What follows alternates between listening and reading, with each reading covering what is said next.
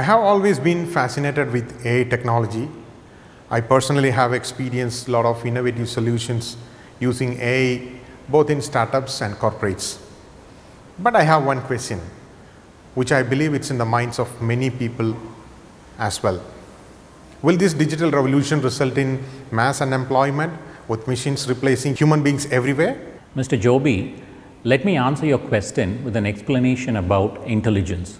Intelligence doesn't reside only in individuals' brains or computers. It is also there when there are groups of people, or in other words, intelligence arises among groups of people as well. This type of intelligence is called as collective intelligence. Now, by that definition, collective intelligence has been in existence for years together. We are seeing lots of examples of that in armies, in companies, in organizations and uh, institutions. Technology has enabled a new type of intelligence wherein you don't just connect groups of people, but here you connect groups of people with groups of computers. Now, computers and machines together is enabling a new type of intelligence, which is actually uh, giving businesses very innovative solutions. So, the question that we have to ask now is how can we connect computers and machines in such a way that the collective intelligence that they exhibit is far superior than any individual group. In order to answer that question, we have to ask another question.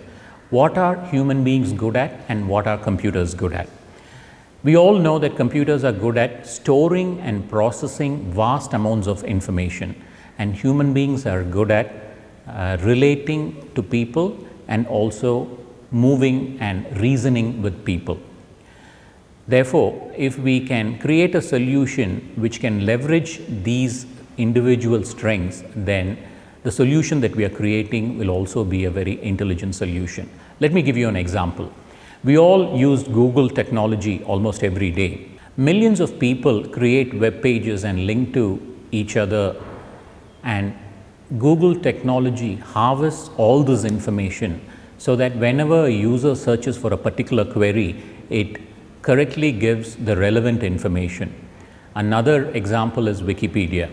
Lots of people create uh, very intelligent uh, information and the technology behind Wikipedia scans that information and checks for plagiarism or any other inappropriate uh, words and then it approves the content. Now, from these two examples, you can very well see that the solution that we are enjoying is not just created by machines, it is created with the help of both humans and machines. So, I think this is a long explanation uh, to your question, uh, you cannot do away with human beings' experience and labor. It is very, very important.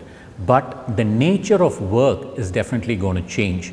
One thing that will still remain is machines cannot replicate human level of intelligence.